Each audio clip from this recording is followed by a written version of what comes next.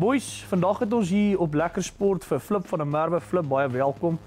Ehm um, hy gaan vir ons bietjie meer vertel oor homself en en rugby, sy gevoel daaroor as sulks. Flip, waar het jy groot geword? Waar waar was jy op skool? Vertel ons bietjie meer van jou jou jonger dae.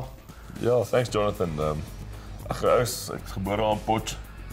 Bietjie skool gaan op Potch. Ehm um, toe 'n bietjie Kimberley toe gewees. Ek's eintlik maar 'n bietjie oral gewees, bietjie Kimberley toe. Nomadies. Vir laerskool, ja.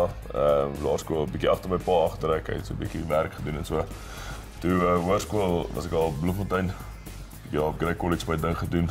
Oh nee. Ehm um, daai tyd bietjie gaan swat ook al in Bloemfontein op die Koffsie, Shimlas. Trots. Sê jy later? Ja, tot ek so 2009 het ek opgetrek hier in Bloubaland toe. Goeie goeie goeie keuse. Flip, jy het nou genoem jy was in jy was in die in in in Grey College. Daai ouens lewer dan springbokke op soos Olgold tomatiesous bottels uitpomp. Dit is amazing. Is dit iets in die water?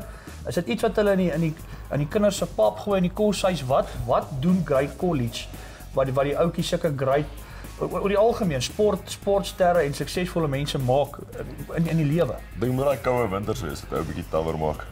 Nee, ek ek ek, ek, ek weet nie, ek dink ek dink maar die die geleenthede wat 'n skool soos Grey gee as jy daar is, as jy 'n rugby speler is, jy's jy's net vroeër ehm um, wil ek sê exposed weet ehm um, aan aan aan groter dinge en maak jy 'n bietjie reg vir jou lewe daar buite. Maak jy ouens wat daar uitkom is maar net bietjie sterker. Breie kop.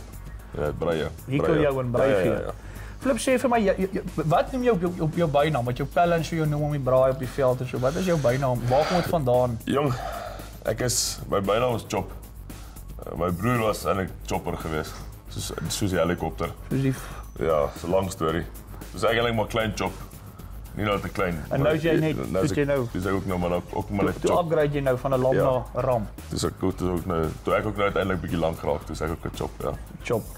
Ehm um, flip met die Bulls. Ek weet jy's nou al lank 'n deel van die kultuur en jy het 'n great wenkultuur en en Loftus as sulks is 'n plek wat wat die ander spanne vreeslik intimiderend en moeilik vind. Wat dink jy is dit van Loftus? Is dit is dit die Oospaviljoen? Is dit die gif in die glase wat die manne gees gee? Wat is dit wat dit so intimiderend maak vir die vir die spanne wat daar kom kuier? en en jy kan sien hulle geniet dit nie. Dis asof hulle op 'n muurshoop sit. Hulle sit ongemak. Hulle dit is nie vir hulle lekker nie. Wat ja. dink jy maak Loftus Loftus? Ek Loftus is 'n fenominale plek. Vir my is ek uithardloop met ou kan nog steeds hoendervleis elke keer as jy uithardloop.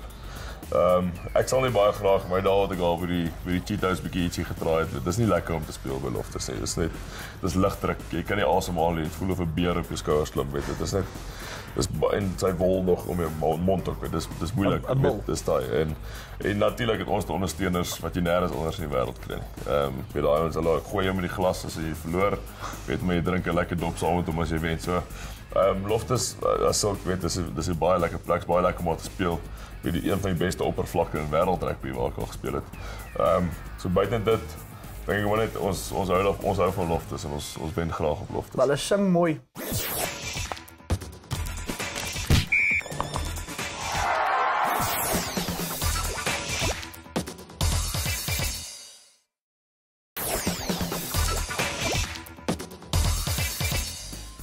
Chop sê vir my, ehm um, rugby is 'n fisiese sport die manne gryp mekaar so nou en dan en en jy kan sien daar's so 'n bietjie verbale goed vir alles 'n oue fout maak en sê hy iets gewoonlik en dan ehm um, as jy kan lippe lees kan hy agterkom maar maar die op op die veld dit die ou is is is onderdruk en so het jy al gehoor dat laat laat 'n oue lekker chirp vir 'n ander ou gooi ietsie snaaks wat in jou kop vasgesteek het op sport wat, wat jy nou al beleef het onder daai nee. omstandighede. Nee, jy kry baie snaakse goed en meeste van die goed ehm um, gaan nou nie op familie familiekameras vertel ja. nie, weet. Weet hulle praat baie van varke en ja, en seker tipe goeters. Allerhande goed. Ehm um, maar daar daar kom definitief 'n paar snaakse goed en daar's definitief 'n paar karakters weet en ek ek wens altyd baie keer pen en papier dat jy kan neerskryf weet, weet ouens soos Jacques Potgieter kom na die kop toe en ouens soos Jacques Fourie weet selfs ehm um, weet bakkies boot hulle het altyd 'n 'n paar lekker bitsige goedjies wat hulle ingooi weet en ek onthou self my universiteit daar as hy 'n bietjie teen die polisie gespeel het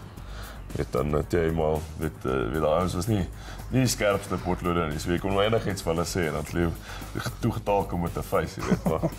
ja, ek kan nie ek ek vergeet altyd die goed weet, jy stap wat in die kop. Hmm. Vergeet ou maar maar. Ja, dis maar. Ja. Dis mos maar die die die, die lewe se tumbledraaier. Ja. Maak dit maak dit hard.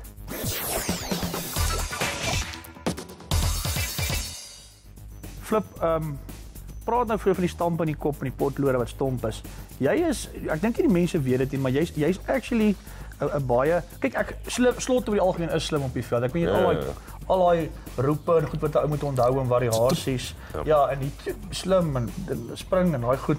Maar jy actually jy's actually 'n professionele man ook. Ek ek weet nie Ja. mense weet jy 'n jy 'n volle finansiële jy's 'n gekwalifiseerde finansiële beplanner. Ja, ja. Met die graad en die hele storie.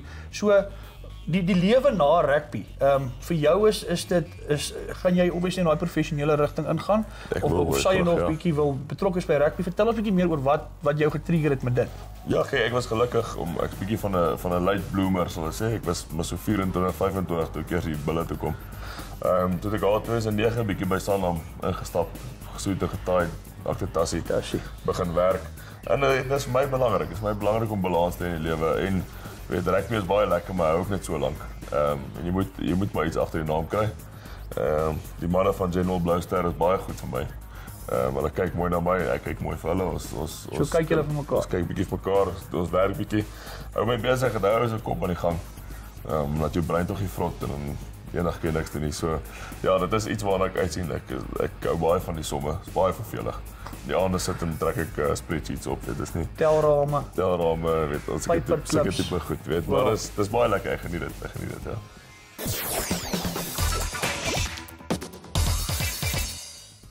Choppy, as jy nou kyk vandag se se rugby spelers moet ek sê jy alles kan doen. Die ou dae as jy skram en jy het 'n paar rekmerke gehad as jy 'n stit. Ja, ja. Nou moet die die stitte moet kan na al twee kante toe aangee van die dikker manne drop self sien ek nou al van die ander lande. Sê vir my as jy 'n ander posisie kon speel en uh, en en of as jy 'n ander sport ook wou speel, wat 'n sport sou dit wees? Ja. Ander posisie. Ek dink ek sou uit die voorspelers uit wou beweeg, jy weet. Ek het um, Hou van die fisiese. Ek hou maar van die fisiese goed, weet. Ek ek trek te lelik aan. Ek sou nooit daar aan die agterlyn kon gespeel het, jy weet. My hare lyk maar so lyk. Ja. Ehm um, dalk hier in die losvoorspelers of so. Ek het al ek het al by Stad gedraai my jonger dae. Was 'n was 'n lekker Jy jy, botterbilletjie. jy het kry 'n week laerskool dit gespeel. Ja, ja, ja, ja, ja. Ek het eers daar 9 begin slot speel, weet. Ehm um, so ek ek ek sal 'n bietjie terug wil beweeg nog, weet. Miskien agste man of iets in daai. Ja. Dit ek kry ou dwyn van die kompetisie is te rof. Ja. Ja. Teen Peerspies en dit kom weghardloop gaan nie werk nie. Sakkel. Uh, ander sport, ek sou geniet het om om Formula 1 te kan ry. Ja, dit sou vir my baie leuk gewees het as ek nou kleiner was. Ou kan begin sommer een voortrekker weg. Ja, ja, ja.